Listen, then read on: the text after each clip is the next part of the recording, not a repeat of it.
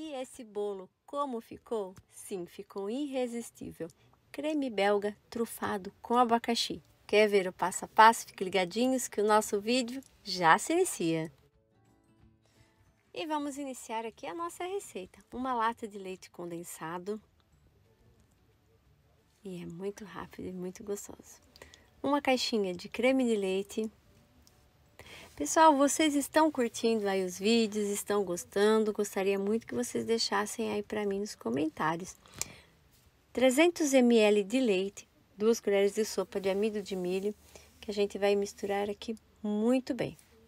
Antes de ligar o fogão, gosto de deixar tudo muito bem misturado.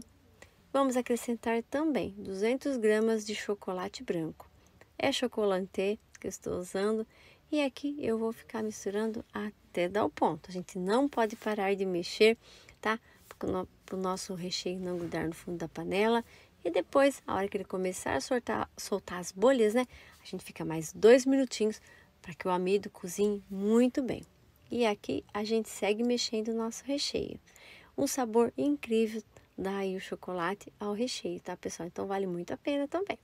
E olha aí como vai ficando, mostrando para vocês a textura aí do nosso recheio. Aqui, momentando, olhando assim, vocês veem que ele tá molinho, mas realmente é assim mesmo que fica, tá? Ele vai criar consistência depois de frio. Então, estando no ponto, eu já posso transferir o recheio para um refratário, porque assim que esfriar, a gente segue na nossa receita. Vou colocar aqui nessa tigelinha. E olha que lindo aí o nosso recheio, super quente, sim. Coloca o plástico por cima e olha aí o nosso recheio depois de frio, pessoal. Sim, fica esse creme lindo aí que vocês estão vendo aí. E agora é só acrescentar o abacaxi.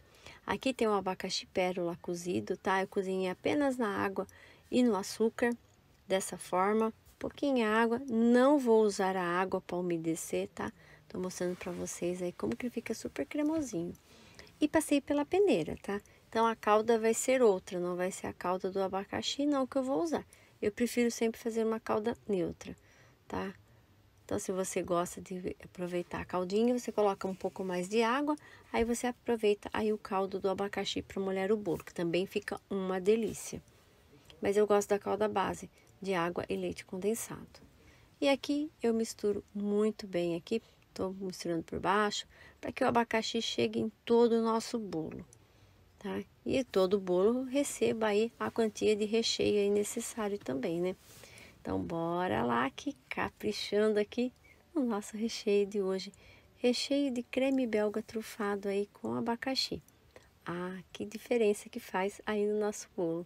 Sim, fica delicioso. Agora eu estou mostrando aí para vocês que eu consegui espalhar o abacaxi pro nosso bolo todinho, né? Nosso recheio. Pronto aqui, Agora já faço a divisão e a gente já segue na montagem.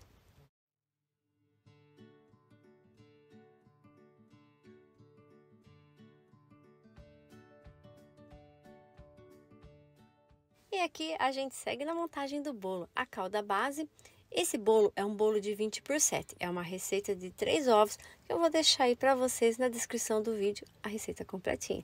Já coloco a metade do nosso recheio. Eu gosto sempre, como vocês observam, de colocar de colherada, tá, pessoal? Acho que facilita bastante na hora de espalhar. Esse plástico vocês encontram nas lojas que vendem aí produtos de confeitaria, tá? Então, é um plástico simples, eu só abro numa parte e aí eu abro inteirinho.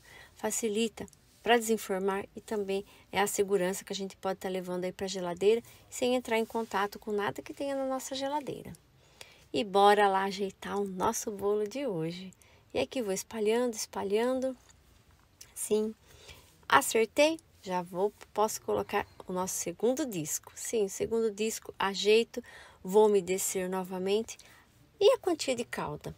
Eu coloco a quantia de calda para ficar bem úmido, tá, pessoal? Então, vai de acordo aí com vocês também. Tem gente que gosta de um bolo mais sequinho, eu já gosto de um bolo mais molhadinho. Vocês podem ver que eu exagero um pouquinho na calda. Então, bora lá. A, essa massa de três ovos que eu faço, ela fica muito estrutura, estruturada, então ela não despedaça não. Então, ela aguenta assim a calda e aguenta os recheios, que vocês podem ver que eu faço recheio pesado. Esse recheio de creme belga trufado é um recheio pesado, tá? Mas eu faço mousse também. Então, assim, tanto eu uso para mousse quanto para recheios pesados. Então, eu gosto bastante dessa massa, que é uma massa simples e econômica também.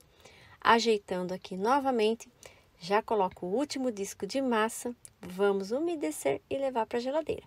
Por seis horas ou de um dia para o outro, fica aí a critério de vocês.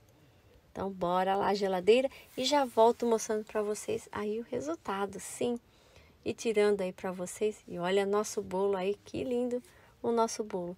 E agora uma decoração simples também, que dá aquele tchan no nosso bolo de abacaxi, nosso bolo de creme belga e trufado.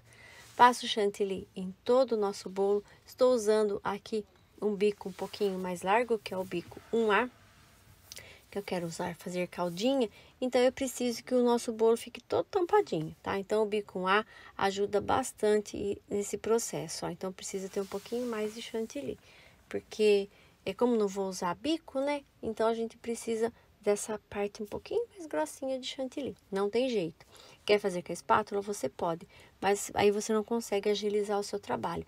Já com o bico ou rasgar a ponta do saquinho, olha como facilita você agiliza o seu trabalho. Às vezes você tem mais encomendas, tudo, e às vezes ficar colocando chantilly de pouco a pouco, às vezes você não coloca da quantia mais ou menos certa.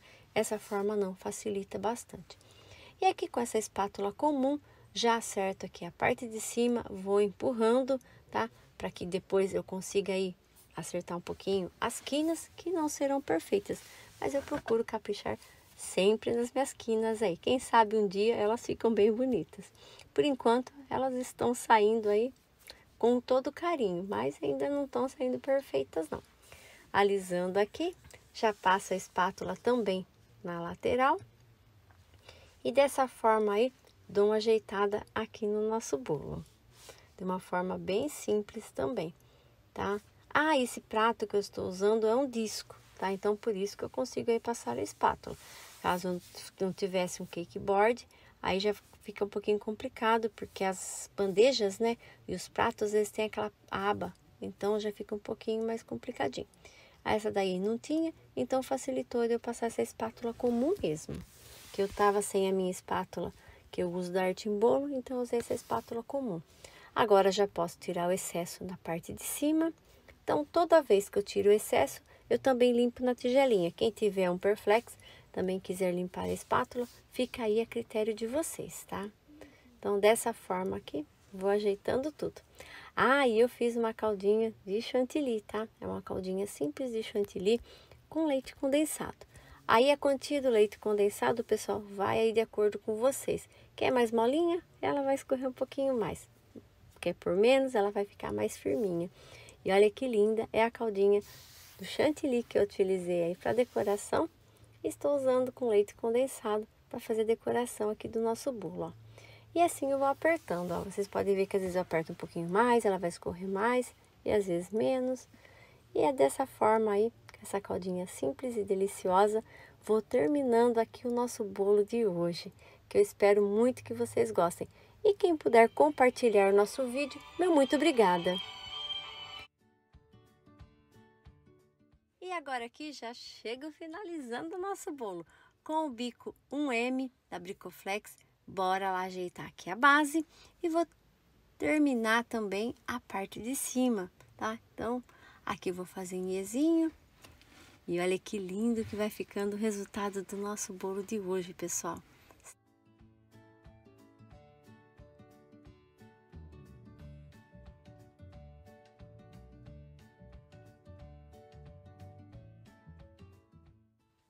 Agora aqui finalizo com o abacaxi cozido. Separei um pouquinho e vou colocar também aqui na parte de cima.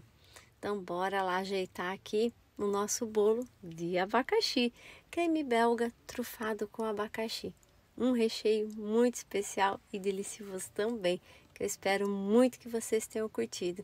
E para finalizar também em cima, a dona cereja do bolo, sim, ela não pode faltar aí nos meus bolos, né? O pessoal já tá até acostumado, ó. E eu peguei um garfinho só para ajeitar o abacaxi, que às vezes a gente coloca tudo num lugar só, né?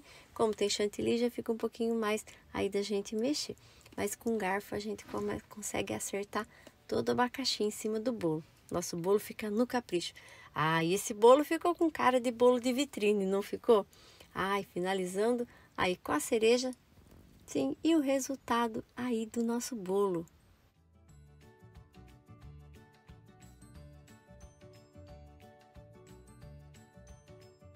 E agora aquela fatia maravilhosa aí para vocês. Espero muito que vocês tenham curtido. Muito obrigada a todos que chegam ao final, que deixa aquele joinha que ajuda muito o canal. E olha aquela fatia irresistível. Sim, a nossa fatia irresistível de hoje para vocês. Muito obrigada a todos. Fiquem com Deus e eu te espero no próximo vídeo. Beijão a todos.